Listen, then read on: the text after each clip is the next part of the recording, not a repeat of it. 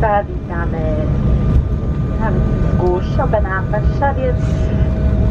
Temperatura wynosi 23 stopnie. Do czasu wyłączenia sygnalizacji pasy bezpieczeństwa muszą pozostać zapięte.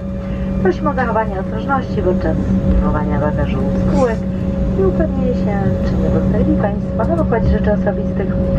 LOT wspiera kampanię społeczną na rzecz zniesienia wiz Zniesienie wiz jest w naszym, w naszym zasięgu.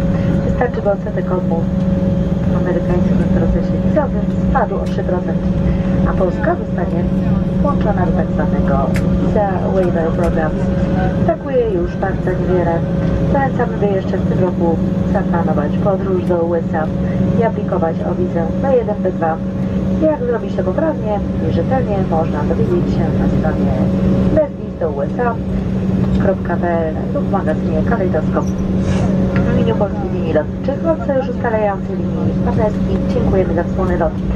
Kapitan Leszek Tragasz i cała załoga życzę Państwu miłego popołudnia. Będzie nam miło spotkać Państwa ponownie na pokładach naszych samolotów. Do zobaczenia. Ladies and gentlemen, welcome to Warsaw Chopin Airport. The temperature is 23 degrees. As long as fasten sign is on, please remain seated with fastened. Please be careful while opening the compartments and make sure you haven't touched any personal belongings on board.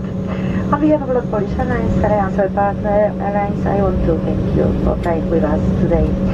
Captain Leszek Dragaszek crew, wish you a pleasant onward journey.